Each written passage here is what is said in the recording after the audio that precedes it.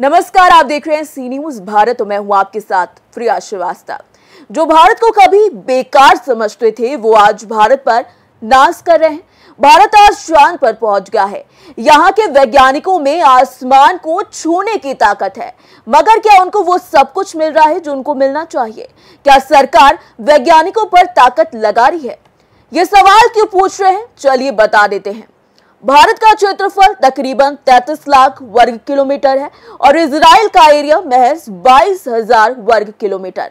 आबादी के लिहाज से भी इसराइल हमसे काफ़ी पीछे है, लेकिन इसराइल वैज्ञानिक पैदा करने, नई खोज करने समेत अनुसंधान और विकास में खर्च करने के मामले में हमसे 10 गुना आगे है। जी हाँ भारत सरकार रिसर्च पर जीडीपी का महज शून्य दशमलव छह पाँच फ़ीसदी खर्च कर रही है, जबकि इसराइल इस मामले में दुनिया में सबसे ज़्यादा यानी कि तकरीबन पाँच फ़ीसदी से ज़्यादा खर्च करता है। भारत की स्थिति इस मामले में दक्षिण कोरिया, जापान जैसे छोटे देशों से भी काफ़ी पीछे है। तो सवाल उठता है कि क्या प्रधानमंत्री के दावे में सच्चाई है? जो उन्होंने हाल में ही कहा था कि वैज्ञानिकों को रिसर्च के लिए रिसोर्स की कोई कमी नहीं होने देंगे। क्या महज पैंसठ करोड़ रुपए के बजट से देश में आला दर्जे की रिसर्च हो पाएगी? शिक्षण संस्थानों से लेकर साइंस तक और रक्षा तक। सरकार रिसर्च पर कितना खर्च कर रही है, आइए आपको दिखाते हैं इस रिपोर्ट में। वैज्ञानिक समुदाय को यह विश्वास होना चाहिए कि रिसर्च के लिए रिसोर्स की कोई कमी नहीं होने दी जाएगी। ये कहना था पीएम मोदी का। अनुसंधान नेशनल रिसर्च फाउंडेशन की गवर्निंग बॉडी की पहली बैठक में पीएम मोदी ने कहा कि शोध को मौजूदा समस्याओं के नए समाधान खोजने पर ध्यान केंद्रित करना चाहिए। मगर क्या वाकई ऐसा हो रहा है? क्योंकि केंद्र सरकार शिक्षण संस्थाओं को 2014 में हर हाल में रिसर्च ग्रांट के लिए सत्तर हज़ार करोड़ रुपए देती थी। वही अब मात्र पैंतीस हज़ार करोड़ रुपए रिसर्च ग्रांट के लिए दिए जा रहे हैं। वही बात करें रक्षा और परमाणु ऊर्जा की तो विज्ञान और प्रौद्योगिकी विभाग के अनुसंधान और विकास विभाग के आंकड़ों के मुताबिक 2020-21 में अनुसंधान एवं विकास में भारत का कुल निवेश तकरीबन 17 बिलियन डॉलर, यानी कि तकरीबन एक दशमलव चार दो लाख करोड़ रुपए तक पहुँच गया। इस रकम में करीब चौवन फ़ीसदी सरकारी क्षेत्र को दिए गए, जो मुख्य रूप से चार प्रमुख वैज्ञानिक एजेंसियाँ इस्तेमाल करती हैं।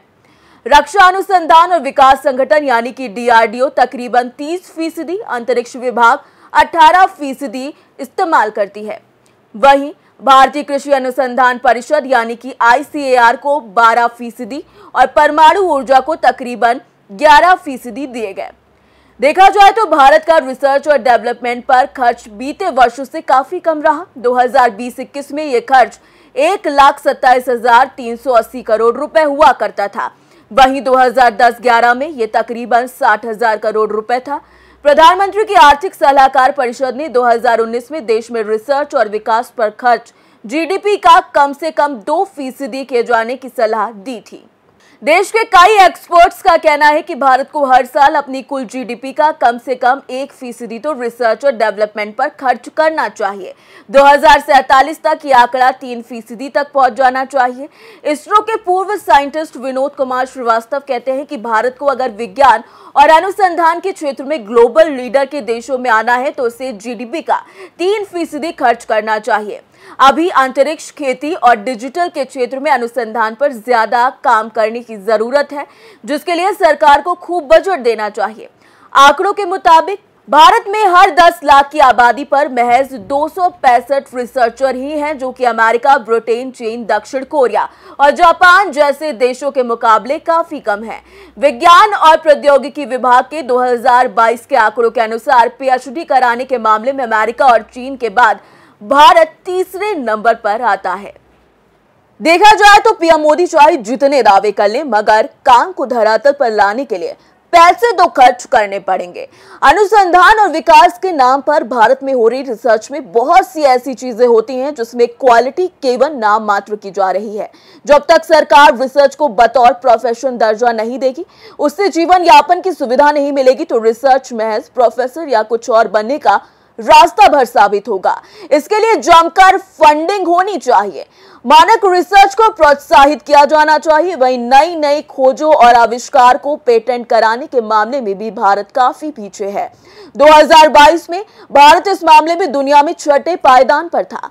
भारत के 30,490 पेटेंट को ही 2022 में मंजूरी मिली थी जबकि अमेरिका के इस दौरान तकरीबन लाखों में पेटेंट जो थे, वो जारी हुए थे, मंजूरी मिली थी उन्हें और ऐसे ही चीन और जापान में भी हुआ था। तो कहने का मतलब साफ़ है कि पीएम मोदी केवल दावे ना करें, बल्कि इस पर उनको काम करने की ज़रूरत है। केंद्र सरकार को रिसर्च पर पैसा खर्च करने की ज़रूरत है, ताकि भारत का विश्व गुरु बनने का सपना जल्द से जल्द पूरा हो सके। फ़िलहाल इस खास रिपोर्ट में इतना ही। देश दुनिया की बाकी खबरों के साथ जुड़े रहने के लिए आप देखते रहिए सी न्यूज़ भारत।